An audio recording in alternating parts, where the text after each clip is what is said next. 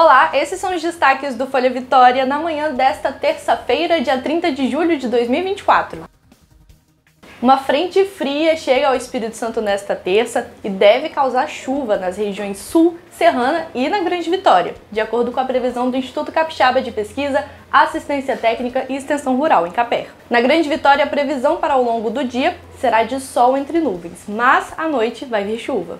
Você já deve ter visto várias fotos do Bosque das Cerejeiras em Pedra Azul. É uma paisagem inconfundível né, do bosque cor-de-rosa mas esse ano não estará aberta a visitação. E o motivo são as mudanças climáticas. As flores não apareceram este ano por conta das temperaturas mais altas, mesmo no inverno. Lá no Folha Vitória a gente conversou com um biólogo que explicou toda essa dinâmica.